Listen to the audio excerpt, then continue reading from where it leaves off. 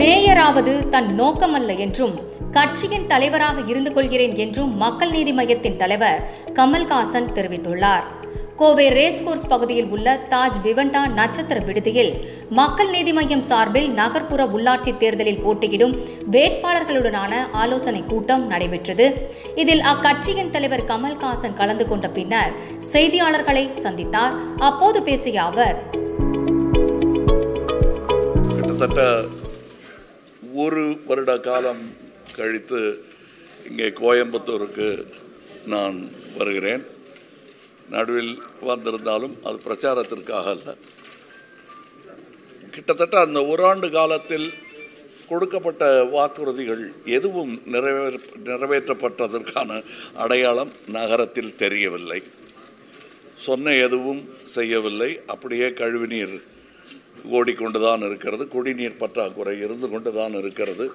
நாங்கள் வந்தால் சுயஸ் திட்டம் என்று போட்டிருக்கும் அந்த சிறுவாணி தண்ணீரை விற்கும் அந்த வியாபாரத்தை தடை செய்வோம் என்று சொன்னவர்கள் ஆட்சிக்கு வந்தவுடன் அந்த வியாபாரத்தை துரிதப்படுத்தியிருக்கிறார்களே தவிர தடை செய்யவில்லை. இது போன்ற பல வாக்குறுதிகள் இல்லத்தரசிகளுக்கு வாக்குறுதிகள் என்று நாங்கள் அறிவித்த பிறகு அறிவித்தவர்கள் நல்லது யார் சொல்லி யார் சொல்லி நடந்தாலும் நல்லது நடக்கிறது என்ற சந்தோஷத்தில் நாங்கள் இருந்திருப்போம்.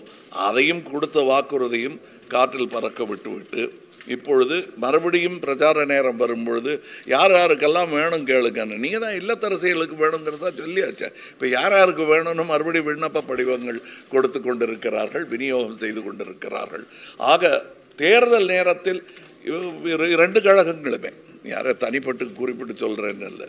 இப்போ அவங்க வந்து வாக்குறுதிகளை அள்ளி வீசிவிட்டு பிறகு அதை குப்பை போல் பெருக்கி தள்ளிவிட்டு செய்யும் வர பழைய வியாபாரங்களை செய்து கொண்டிருப்பார்கள். இப்பொழுது ஊடகங்கள் வேடிக்கை பார்த்து கொண்டிருப்பது ஊழலுக்கும் ஊழலுக்கும் நடக்கும் போட்டியைத்தான் நீங்கள் வேடிக்கை பார்த்து கொண்டிருக்கிறீர்கள். நாங்கள் அந்த விளையாட்டுக்கு வரவில்லை. நாங்கள் கடமை செய்ய வந்திருக்கிறோம். ஊழலுக்கும் ஊழலுக்கும் நடக்கும் போராட்டத்தில் இரண்டு பேரும் விழுந்தாலும் எங்களுக்கு சந்தோஷம்தான். எங்கள் பயமெல்லாம் ஊழல் மீண்டும் ஜெயிக்க நீங்கள் உதவியாக இருந்து விடக்கூடாது என்பதுதான். அதை இங்கே சொல்ல கடமைப்பட்டிருக்கிறேன். உங்களுக்கு சார்பு இருக்கக்கூடாது. நீங்கள் மையமாக இருக்க வேண்டும். அதாவது மக்கள் நீதி மையமாக இருக்க வேண்டும் என்று சொல்லவில்லை. மையமாக இருக்க வேண்டும் என்பதுதான் என்னுடைய வேண்டுகோள். அதை எனக்கு இருக்கும் கடமை போல் உங்களுக்கும் கடமை இருக்கிறது தமிழர்களாக. இந்தியர்களாக. அதை நீங்கள் செய்ய வேண்டும் என்பதை இது நான் உங்களுக்கு அறிவுரை சொல்லும் ஸ்பீச்சாக சொல்ல நினைக்கவில்லை.